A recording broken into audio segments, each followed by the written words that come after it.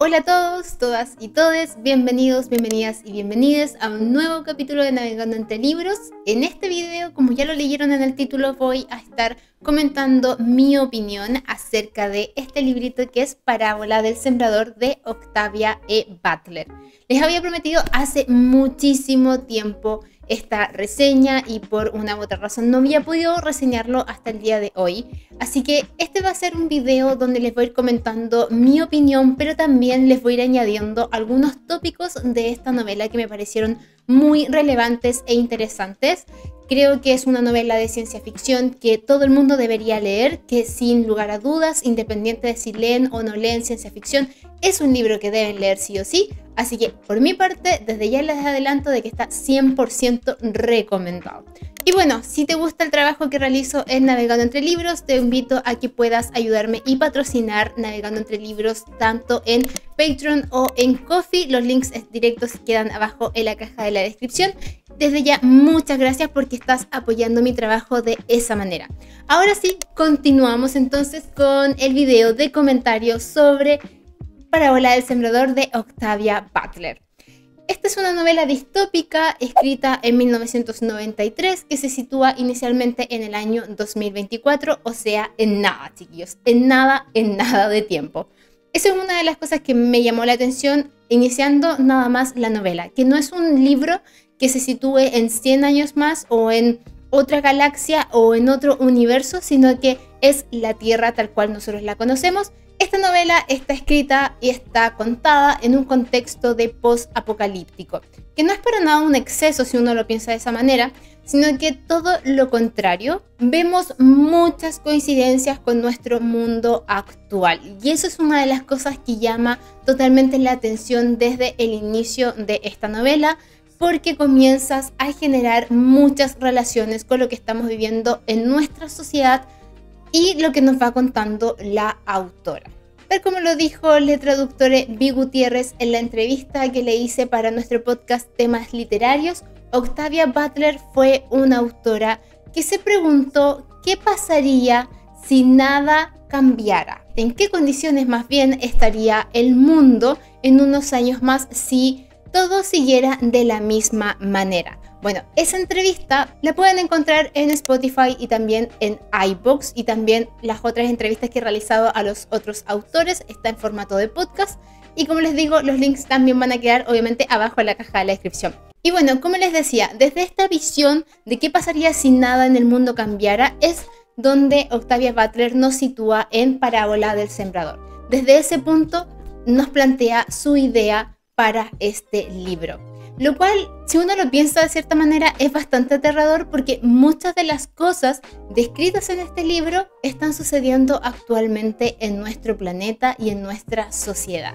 La autora sitúa el escenario principal de esta novela en una pequeña ciudad en la zona de California, Estados Unidos donde los barrios están amurallados, los pobladores viven encerrados, tanto por las murallas, pero también en sí mismos, y viven en un ambiente oscuro, pobre, peligroso. El país se ha llenado eh, de personas indigentes, de drogadictos, adictos, por cierto, a una nueva droga que ha sido creada. Hay miserias en todas partes. En este eh, país hay enfermedades, hay suciedad. Es un mundo completamente oscuro. Es un ambiente además muy cargado en la negatividad y por supuesto que es muy tenso vivir en este universo en el que los habitantes tienen que ir también armados en su día a día para evitar, por ejemplo, robos, saqueos, violaciones e incluso asesinatos. Este es el contexto en el cual nos encontramos a nuestra protagonista, quien es Loren Olamina, una joven de 15 años que vive en un barrio humilde junto con su padre, quien es pastor Baptista además vive con su madrastra y otros hermanos quienes son todos hombres. El hecho de que todos sean hombres también es muy significativo porque como les voy a comentar más adelante en este comentario del libro, el tema de lo femenino o el tema de el empoderamiento femenino más bien tiene también una relevancia súper importante, sobre todo en la figura de Laurel, que es la protagonista. Y bueno, Entre las temáticas que nos podemos encontrar en Parábola del Sembrador hay varias, muchísimas diría yo, pero he querido destacar más bien algunas. Creo que una de las temáticas más relevantes en este libro es el cambio climático. Este es uno de los temas, como les decía, más relevantes del libro, el que cobra además mucha más importancia a más de dos décadas de haber sido publicado Parábola del Sembrador. En este mundo por ejemplo, llueve cada seis o siete años, el agua es el bien más preciado y codiciado de este, de este mundo y por supuesto no es nada fácil de conseguir. Entonces, el calentamiento global y el cambio climático general ha generado una serie de situaciones en las cuales nuestros personajes deben vivir y es una de las principales causas para que el universo como nosotros lo conocemos dentro del libro sea de esa manera. Otro de los tópicos es la crisis económica y la segregación de clases, porque también es súper importante. La población en este libro se estructura en barrios que están construidos según los recursos económicos de cada familia.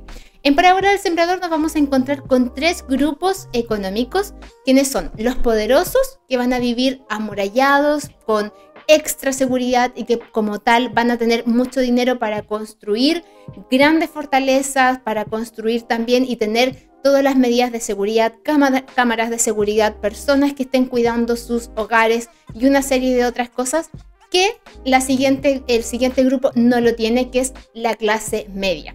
La clase media vive en apuros. Y si uno lo hace en una especie de analogía con la sociedad actual en la cual nosotros vivimos, o por lo menos con nuestro país, me estoy refiriendo a mi país, en Chile, la clase media es la clase que más sufre. Generalmente es la clase que menos se toca dentro de los gobiernos, dentro de los programas de gobiernos, quiero decir, y generalmente es aquella que es más ignorada. Bueno, en este libro sucede algo muy similar.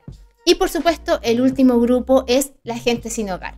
Son los, los que también tienen que luchar por un espacio y por supuesto por los pocos recursos, en su particular en este mundo hay muy pocos recursos, tanto económicos, también recursos básicos, el agua, la alimentación, la vestimenta y también pasan a ser otras cosas, recursos básicos como por ejemplo tener un arma para poder defenderse. La crisis política con la demostración de la pérdida absoluta de la confianza hacia los grandes estamentos de la política.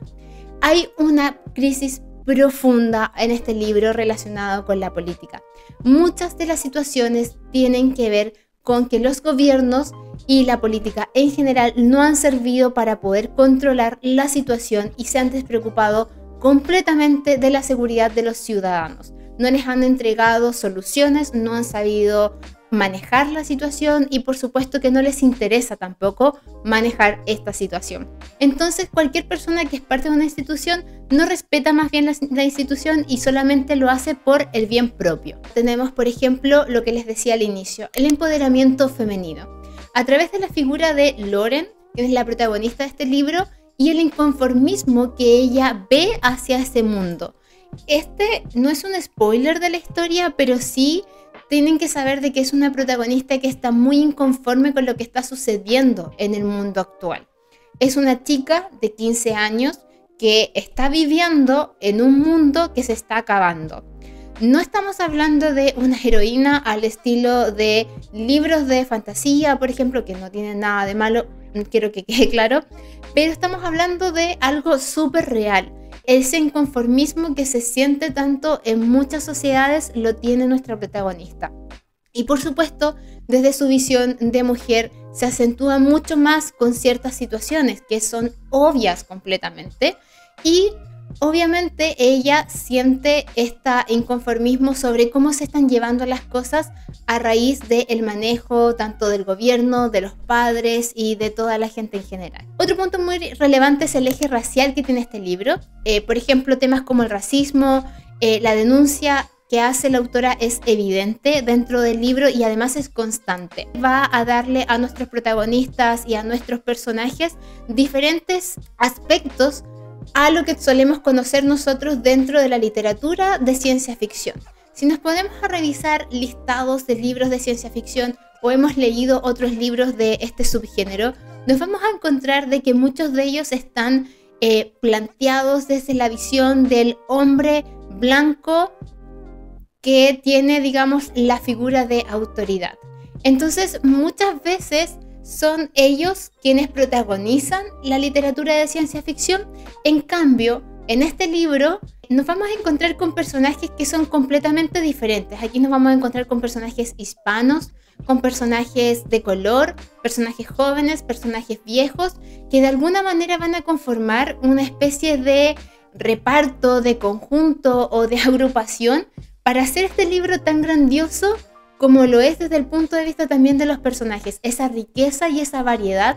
Es un libro que como les comentaba les recomiendo al 100%. Yo estoy muy contenta con la lectura de este libro, espero leer la continuación que es Parábola de los Talentos y por supuesto espero leer también más literatura de Octavia Butler, como por ejemplo Parentesco, que es otro libro que tengo súper pendiente de la autora. Cuéntenme ustedes si ya leyeron este libro, qué les pareció y si opinan algo similar a mí o si eh, tienen opiniones también variadas en torno a este libro para que podamos ir comentando acerca de Octavia Butler y su figura dentro de la literatura de ciencia ficción. Les recuerdo, chiquillos, que tengo cuenta en Patreon y también en Coffee en caso de que quieran patrocinar navegando entre libros. Me ayudarían un montón para seguir con mi trabajo. Los links directos los encuentran abajo en la caja de la descripción. Y me despido, nos vemos próximamente en otro video. Que esté muy, muy, muy bien. Adiós, bye.